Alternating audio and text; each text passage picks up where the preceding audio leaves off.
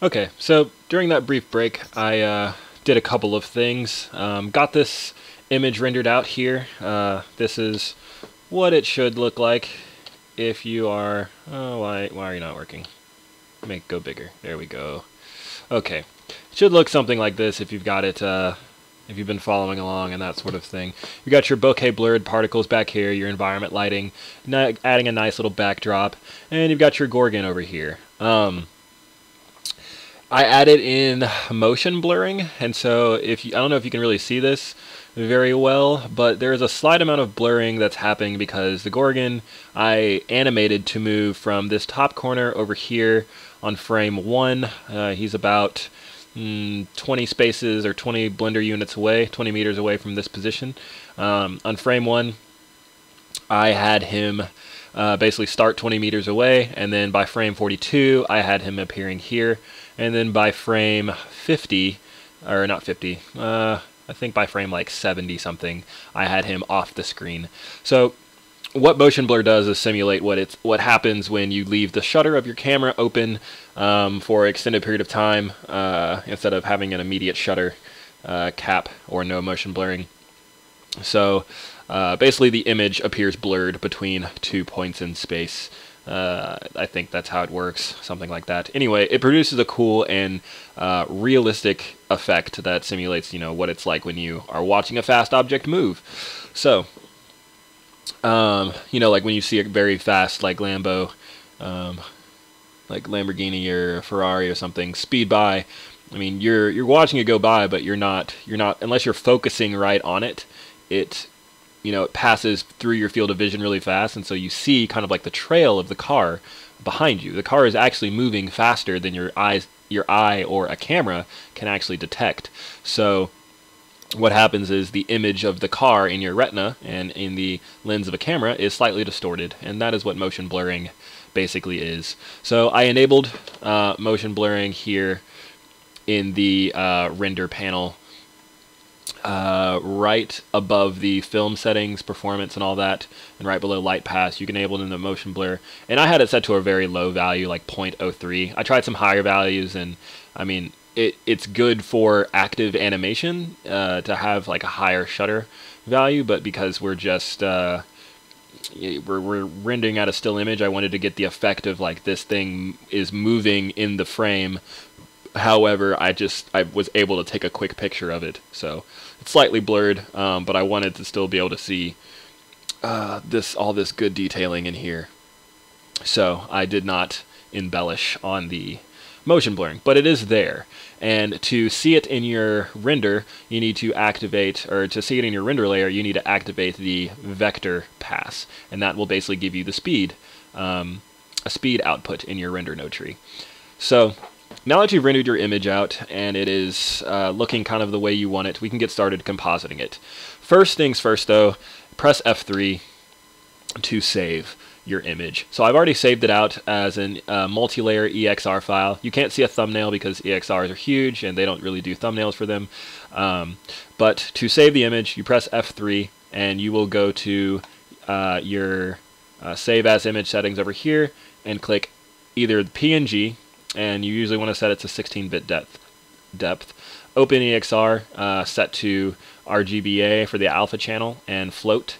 And uh, if you do that, you also want to include the Z buffer, which gives you the depth in the uh, uh image, so you can use that uh, when you're compositing.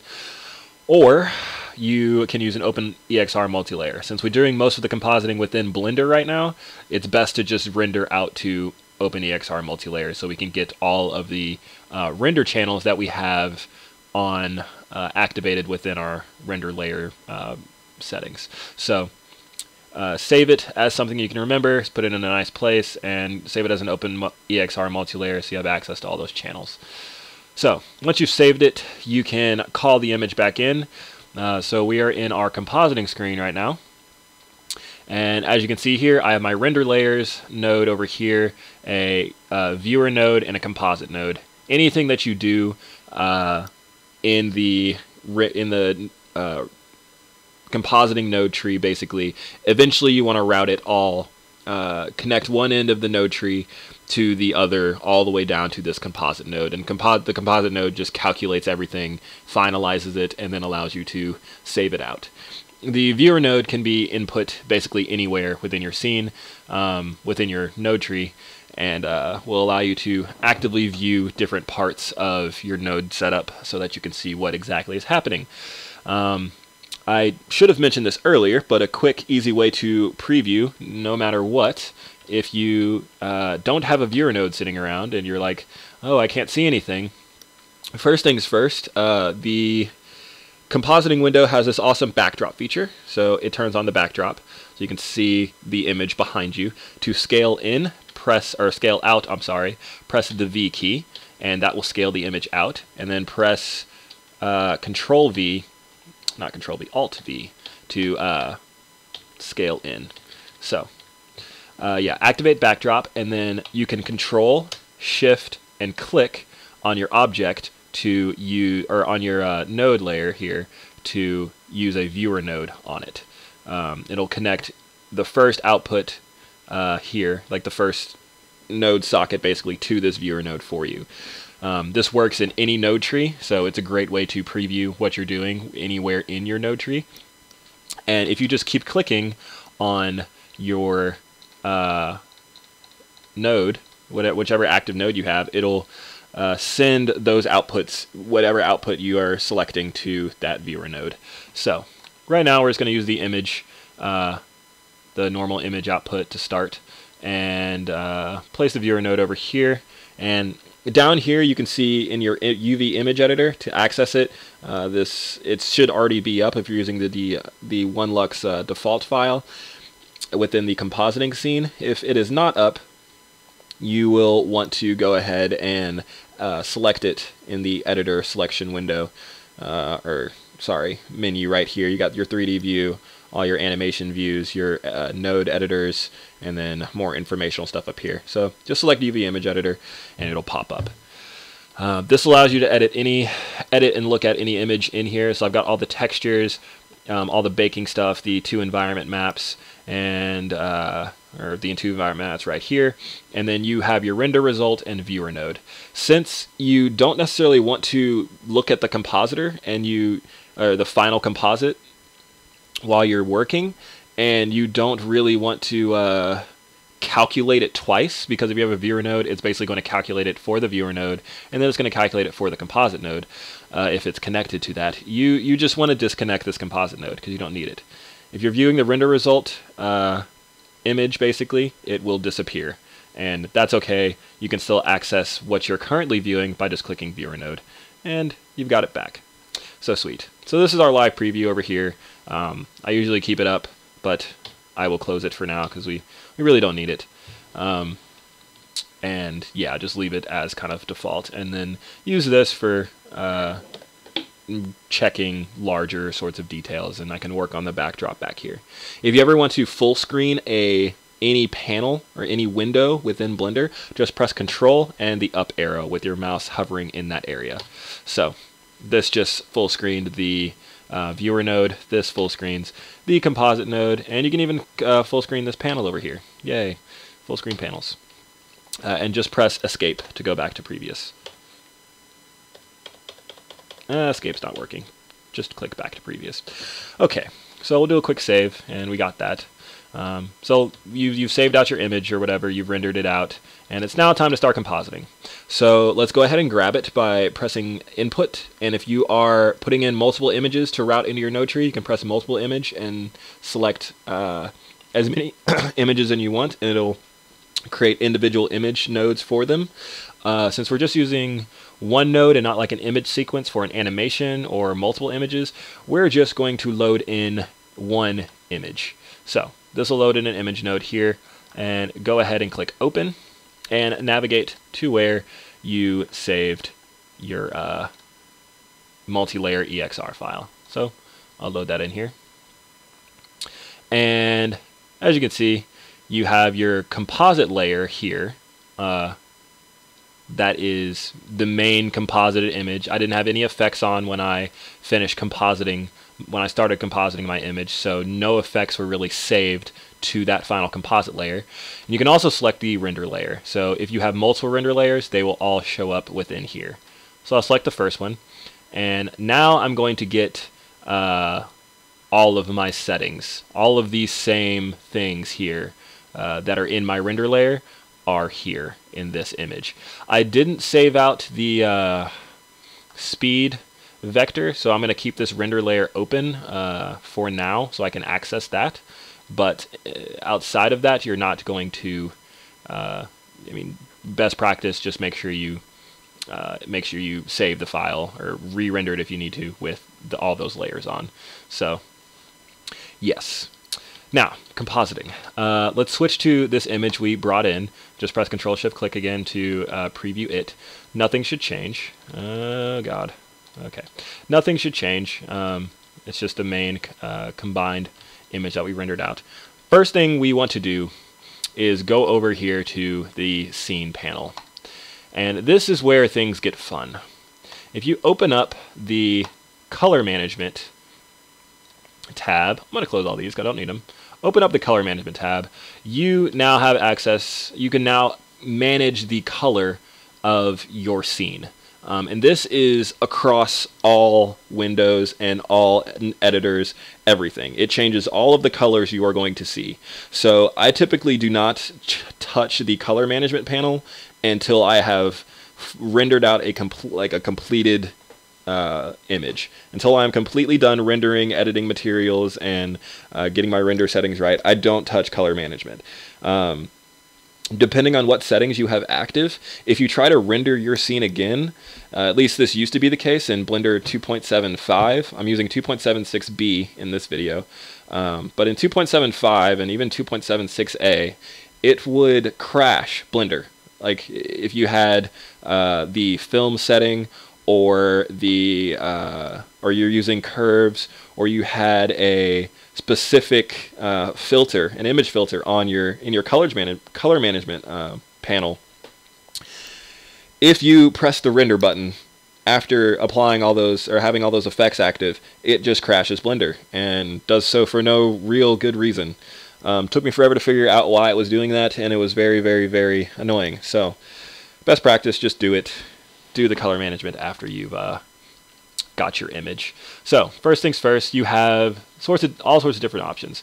If you have your display device here, um, and since we're using a HD, I'm using an HD TV TV monitor, so I'm just going to keep it at sRGB. That's mainly what you're going to want to use.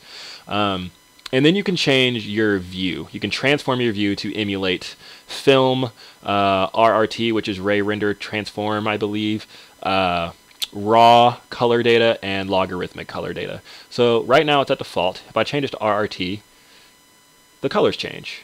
If I change it to film, we get some more color change.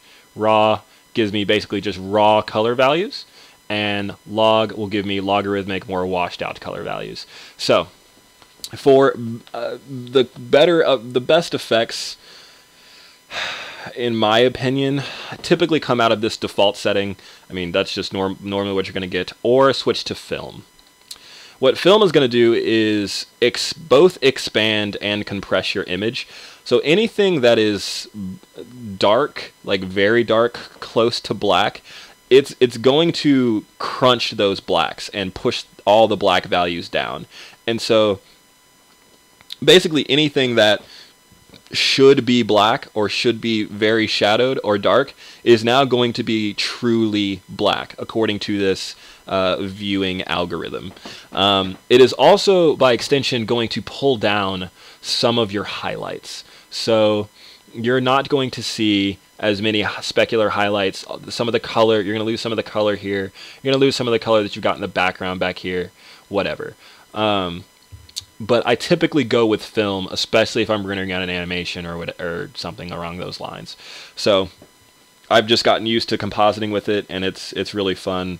Um, it makes your images look great.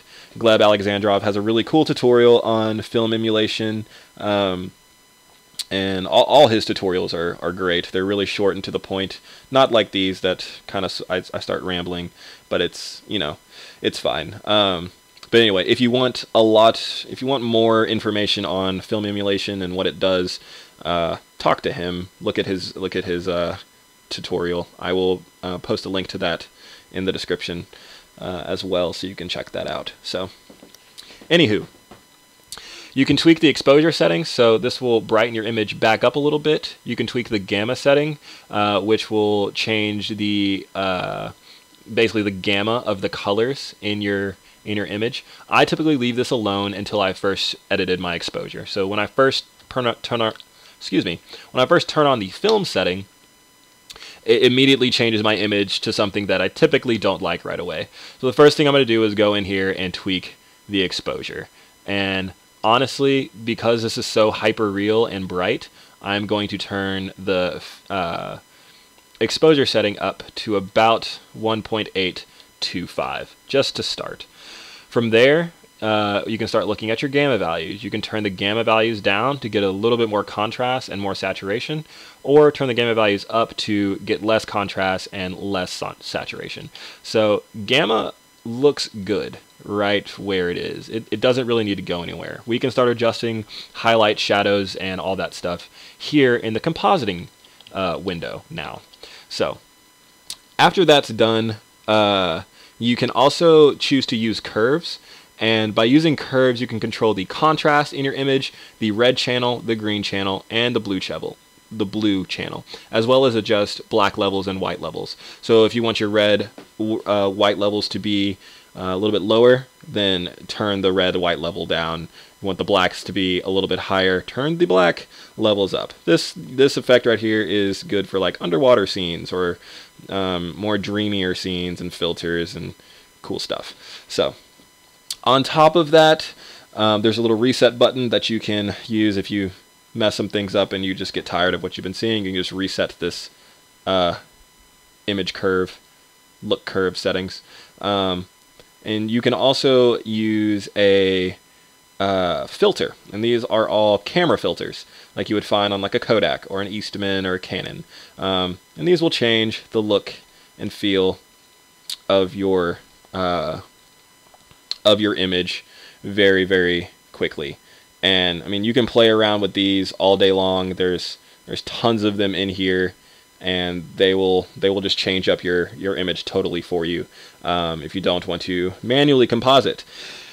Uh, but the downside is that there's so many, so it takes a while to find one that really looks good. So we're just going to go in and manually make this boss. Um, first things first, we're going to color balance everything. So you want to add in a color balance node to your combined output. So click and drag that in. From there, you have lift, gamma, and gain values. Gain values are going to control the highlights. Gamma values are going to control more of the midtones and more of the main colors you see. And lift is going to control the shadows, or yeah, the shadows. So first things first, we don't want to do any color correction right now. Uh, we just want to adjust the shadows and uh, midtones and highlights. So first things first is just start playing around with these values until you get something that starts to look good. I want a little bit more contrast here in the shadows and the crevices, so I turned that up. I brought this down just a little bit. And then I'm going to bring the gamma value up some to adjust the color back up. So this is the regular version. This is the colored, color balanced version. It's not much of a difference really, but all you're seeing it here, all you're seeing it, eh, I can't talk. It's 2 a.m. What you're seeing here is the normal image right now, lighter shadows, more color, uh, or sorry, more washed out color. And here I have darkened the shadows and uh, yeah, and brought up the color a little bit more. And that looks good. And then lastly, if you have highlights that you want to edit, you can uh, move over here to this uh, color correction for highlights, and that'll change that up. So let's push those up a little bit and see what we get. That's really starting to blow it out now. Um, I'm going to leave that as is you can, after you've color balanced once, you can color balance again. And this is good practice if in the first pass, in the first color balance pass, you really want to focus on uh, affecting your uh, white and black values. So the level of shadowing, the level of the midtones, and the level of the highlights. You want to you want to go ahead and edit those there first. Then you add in another color balance node right on top of the first one. And this is where you can start actually balancing the color out. So if you want to take out some red from the shadows, uh, or sorry, that was adding red. If you want to take out some red, switch it to like the complementary color, blue. So the shadows are going to get a little bit bluer now. Um, you don't like this blue on the midtone, but you like the blue color class, color cast in the highlights. So let's add some more orange in the mids. And that's that's way too much. Uh, I'm gonna see. Let's see here. Just till you get an effect that you like. And I honestly think this pinkish over here is really nice. Um, because you have some of those pinks in the background here. You have some of those pinks in your, uh, uh, what do you call it, your bokeh nodes. So I changed that up a little bit. And because you just have a few of these uh, green highlights, that's what I'm going to go for on the highlight end of the spectrum. So I'm going to edit that to be a little bit more green. Um, and we're going to go like a greenish. Eh, I may not change that. If I do want to change that, I'm going to go over here to use curves and push the greens uh, using the curve. So uh, down here is going to push the greens closer for most of the image. Uh, whereas here, up, up towards the top, is going to push greens for more of the highlighted values. So any value at this level here. So you can imagine these points uh, if I add points in right here, you can imagine these points as points like these little intersections here. You can imagine them as like quarter increments. So this is 0, this is 0.25, this is 0.5, 0.75, and 1. Um, so let me reset this. Um, so at any any value, any color value that uh, like right now, this uh, most of the colors here, I'm sorry, in this correction formula, I have the colors set to a value of 1. But this color value here is like a color value of 0.002. So any color value basically between the scale of 0 and 1 is going to be editable on this curve. So values closer to the top of the scale, like these lighter values, if I push the greens up here, are going to get more green than the darker values, that sort of thing. So this allows for a great deal of control in what gets green, or what gets what colors get changed and what don't. Um, so I'm going to bring these guys back down to earth down here, and I'm also going to bring them back down to earth down here. But starting at about 0.5 and above, I'm going to start bringing my greens up. And may even start doing so over here. And let me buff this curve out. Yeah. That's looking great. Okay, so done some editing to the curve. You can go in and change the contrast up to really start pushing things uh, in a different direction. I'm just going to reset that. Um, oh crap! I'm don't don't hit the reset button uh, if you yeah don't don't hit the reset button um, if you've done a lot of curve color correction color correction because it resets it for all of your uh, all of your colors so yes um, that is honestly better. I mean, you can really see it like here and here, and that's what needs to be that's what needs to be smoothed out and fixed some. Uh,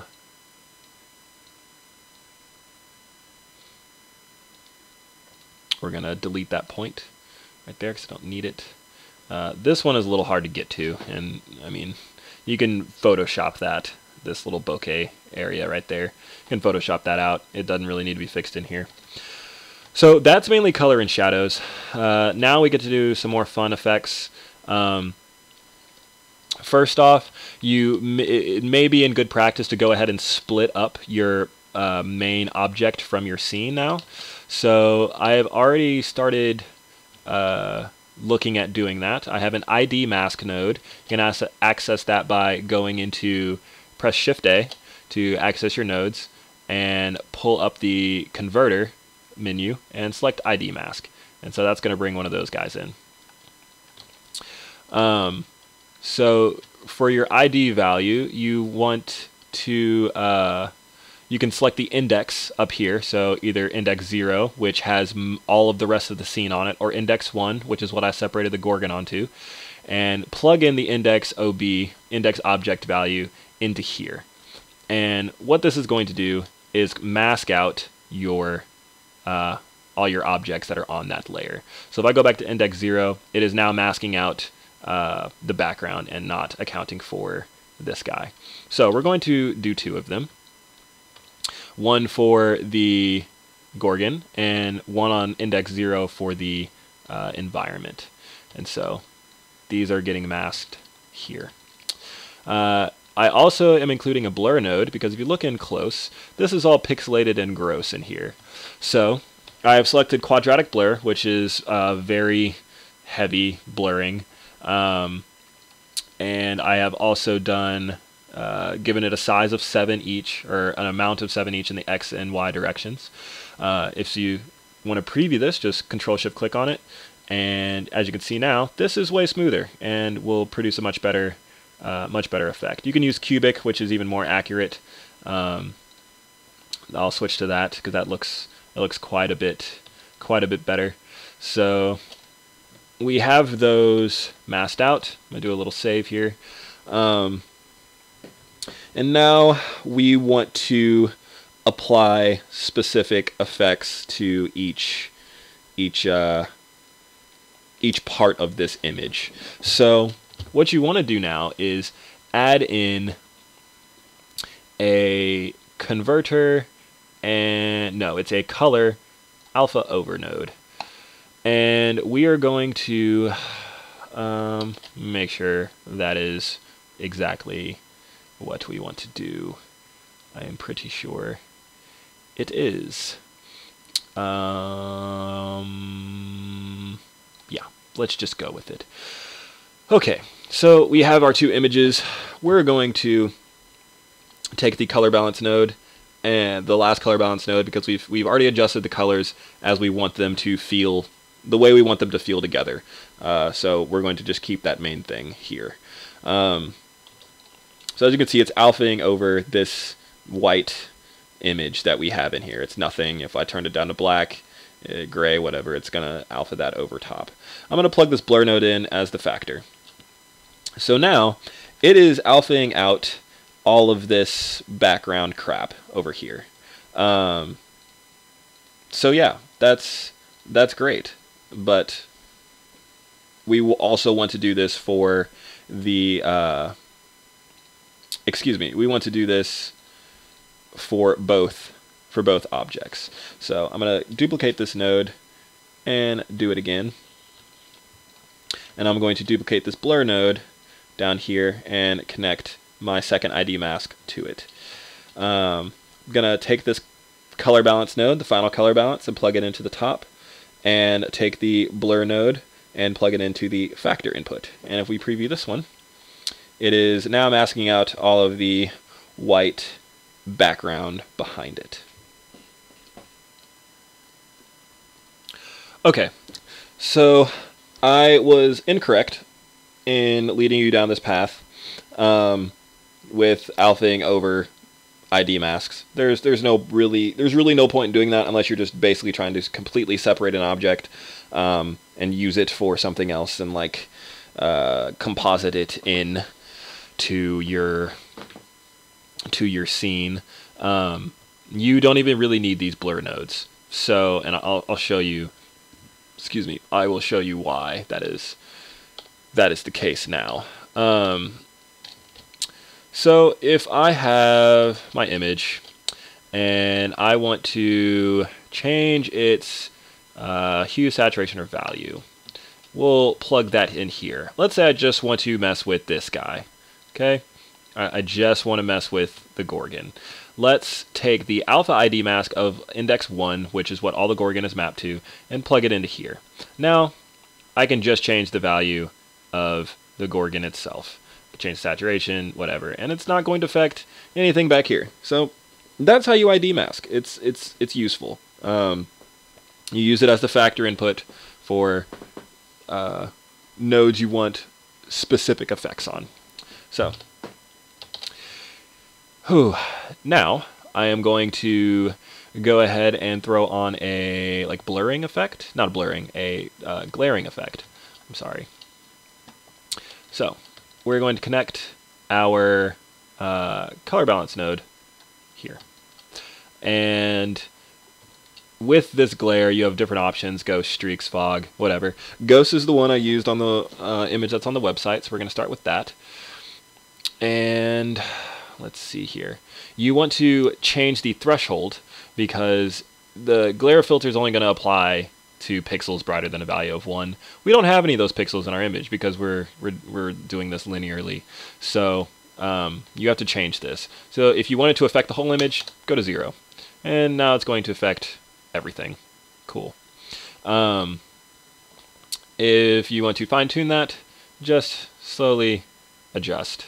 And it looks great right about in here. That that is a very slight, simple, you know, effect. Um, change the you can change the iterations to uh, increase the amount that's happening. That looks good there. And you can also change the color modulation so that it decreases the effect and modulates the color closer to the values that are uh, the colors that are present in the scene. So we're going to do a glare node, a ghost glare node there, and we're also going to add one more in uh, on top, and we're going to use our ID mask here uh, for that for that effect.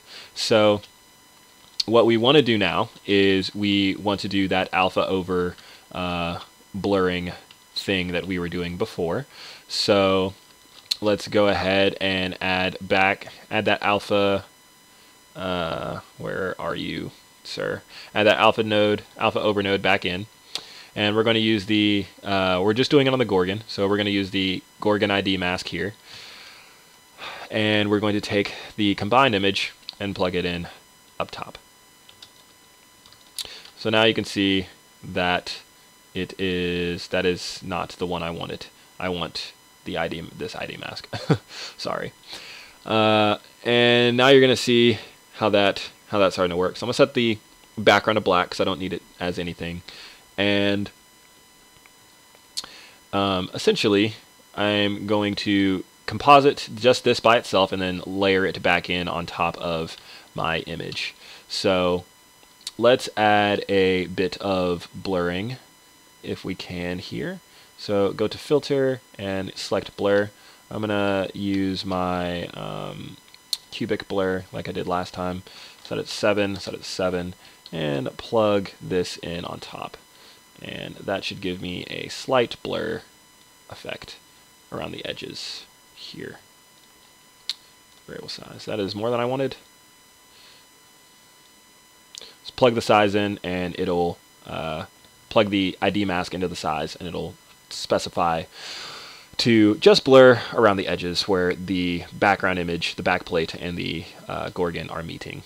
So, blurring setup, alpha overing is set up. Now let's apply the glare effect. We're going to use a uh, fog glow glare, I believe. We're going to start there and see how that goes. Let's turn the threshold down to zero. And now the whole thing is glowing. And it looks a little, it looks a little washed out. It's just, yeah, not what I want. So you can go to streaks, which gives you this streaking effect. You can also go to simple star, which gives you just basic starry, uh, more specular based uh, um, glaring. So I'm going to do that and set it to high quality so I get the best quality glare effect. Mm, turn the iterations up so that I get more of those stars. and then start uh, adjusting the threshold.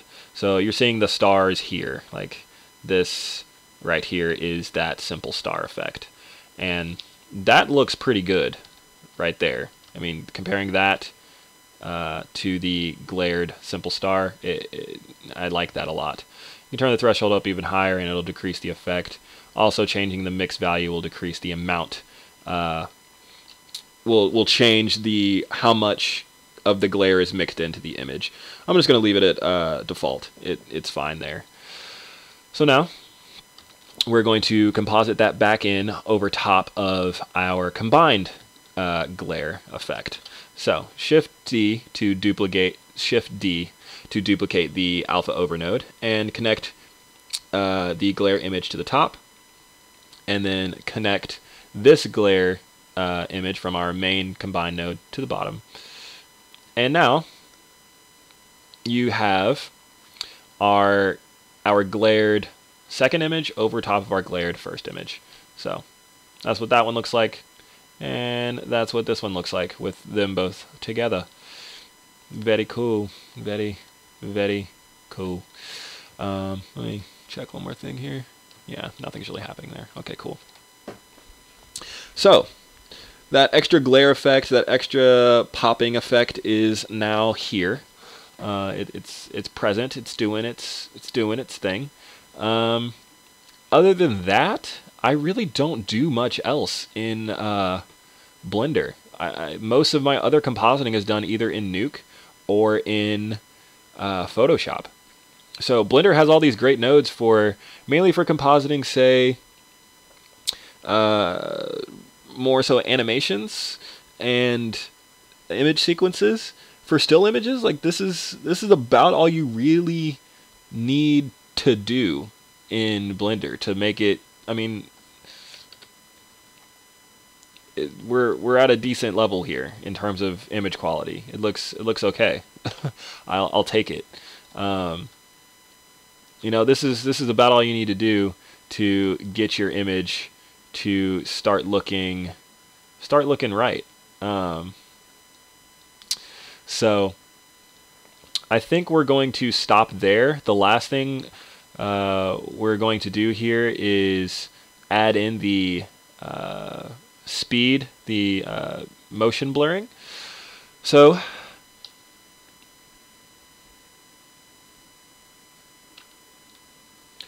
to add in the speed setting, uh, the motion blur that I applied earlier, um, we just need one node, basically.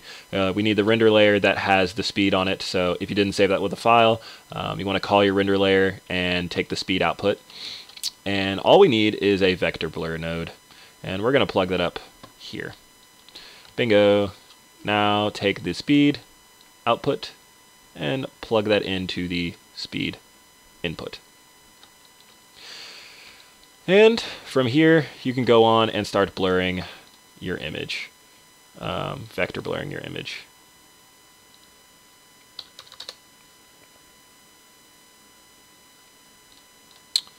Uh, sorry. Let's turn this back to zero. This is just default. Uh, zero for none. It, do it doesn't affect it, really. And then uh, plug in your z value as well, uh, just for good measure. Um, may be useful if you have different images that you want to map with the uh, z axis on. So, uh, turn the blurring up. Uh, I guess turn it up to like 5. See what happens. Mm, nothing. 50. Mm, nothing. Oh, 20 is the max. Why is it not blurring?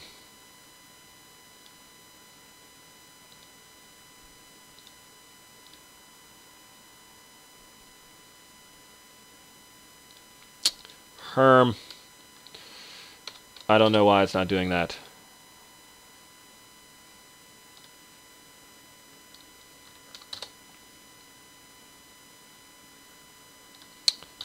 Interesting. Uh...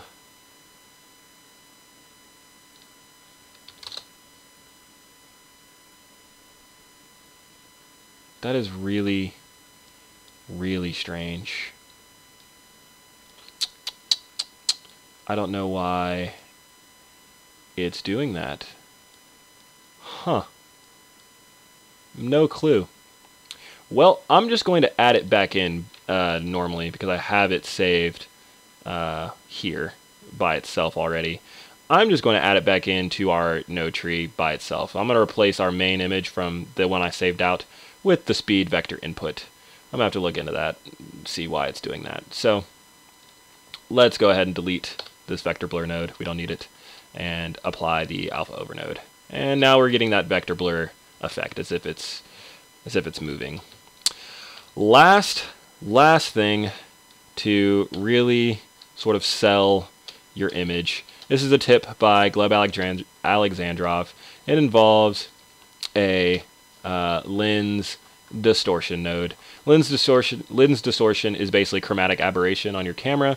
Um, it's the how it's basically your camera is not a perfect object, so it sorts it, it distorts things and gives you a very interesting effect. So we're going to apply that now.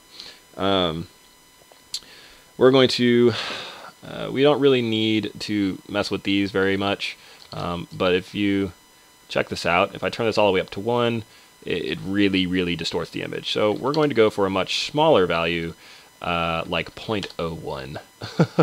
that That is about all we want.